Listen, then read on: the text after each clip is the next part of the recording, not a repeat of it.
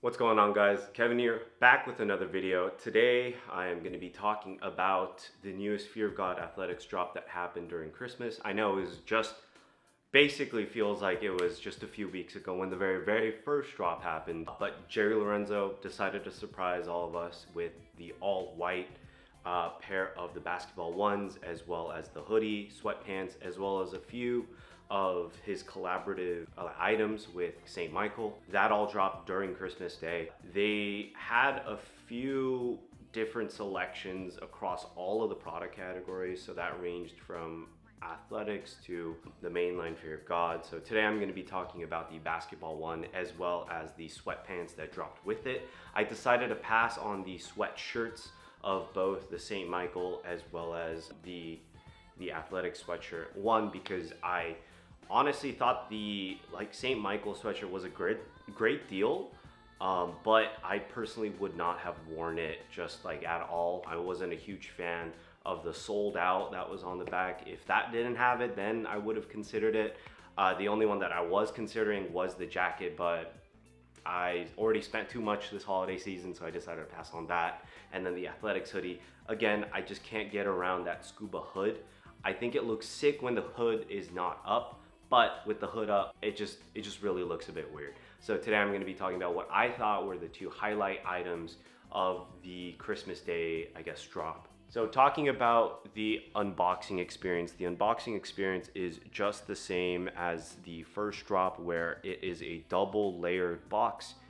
Outer layer has the size tag as well as the inner layer just has the Adidas Athletics box. Again, no extra accessories just like the first Fear of God Athletics drop. Uh, this will only come with those space age sort of dust bags almost. Uh, and here the shoes are. The shoes are a bit more cream compared to the Basketball One Carbon, where the style code does specifically mention that it is a white. Now, I do have here the shoes are. The shoes are really, really clean. Absolutely, like, look at this. There were rumors that this was going to be a friends and family only, but I'm glad that it did drop in wider numbers. The upper is definitely more of like a white white with a slight hint of cream, while the bottoms are definitely a bit more yellowed.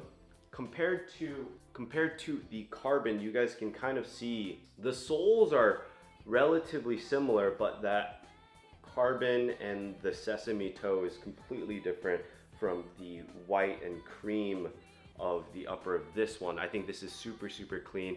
Again, there were rumors that this was going to be a friends and family only as Jerry was gifting a few friends and family with pairs during the Art Basel uh, drop that they had, but I'm happy that it was released a bit more to the public. There was rumored to be a thousand, but then on drop day, I think there were somewhere in between 3,000 to 4,000 pairs that dropped. Soon after it dropped, it did sell out.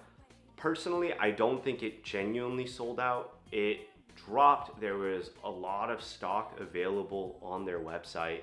Uh, like none of the sizes sold out. And somewhere midday of Christmas, they took everything off. The only item that I think genuinely sold out was the St. Michael. Uh, but again, like coming back to the shoe, it's the same no stitch TPU cover up here. Same with the laminated sort of material here. Uh, it's a very, very clean design. Now, like looking at it from the top down, it definitely has that more swoop down look. On the back has that classic Fear of God back plate. I know that this is very iconic, but I think it would have been extremely interesting and cool to see them kind of make it tonal. I think that would have made it super, super sleek and super almost like incognito. But I do know that this is a classic branding detail. And again, uh, no other accessories here. For the basketball one, sizing is a bit odd if you guys didn't have a chance to check out my previous video where I reviewed all of the items from the drop one, at least for the footwear. Please, I will leave a link in the description and put a card somewhere up here. But just a quick summary for the basketball sizing. Uh, if you have a normal to a narrow width foot, I would recommend sizing up half a size.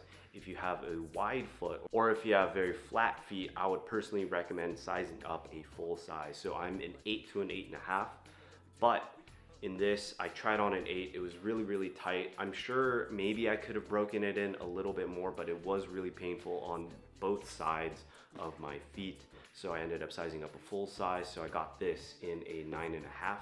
My carbons as well as a nine and a half. Something to keep in mind is that depending on what socks you wear, there can be a little bit of sock piling where it pulls down the sock. Uh, you can either alleviate this by wearing thicker socks or you can alleviate it by potentially sizing down a half. But again, the sizing of this shoe is a little bit odd. So just go with whatever you know your basketball size is.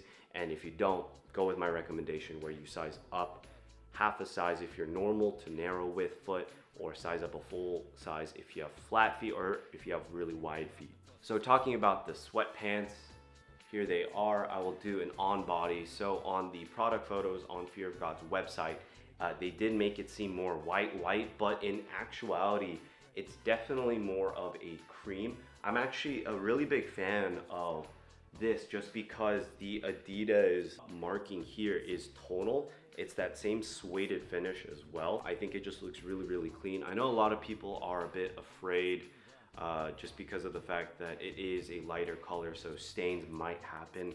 And that's just the case for uh, pants like these where it's a pair of sweats. They're not supposed to be treated extremely uh, like delicately, but they will serve whatever purpose that you'd want. I think this with the sesame will look crazy. I also think these with the white on white will look really, really nice as well. I do have the white mainline gloves that are coming in. Please do let me know if you guys are interested in a separate video for that, just because I was expecting the gloves to also come in with the full order. Unfortunately not. The gloves are something that I'm really, really excited about just because I don't have any gloves in uh, I guess my entire closet in general and I thought those driving gloves were really really sick. I wasn't a big fan of the gloves that he dropped with the Eternal collection. I thought those were a little bit weird but with the soccer sort of uh, like driving gloves that they have that just released. I thought they were very, very sick. Hey guys, sorry about that. This is Kevin in post. I meant to mention, uh, for those who haven't purchased the heavy fleece um, sweatpants or any of the heavy fleece materials, please do keep in mind that because it is a fleece material, not like a French terry like they had on any of the main line, uh, Fear of God's prior to uh, the, the Eternal line, uh, I would highly recommend that maybe you throw it in the dry or something like that just because they do uh, shed a lot. My black that I've been wearing pretty often has just been shedding like all over the house. So it is something to keep in mind. And if your pairs also do shed, don't be alarmed. That's just what happens with fleece materials once it's fresh and you just start wearing it. Not my favorite because it gets literally everywhere, but do keep that in mind. All right, see you guys.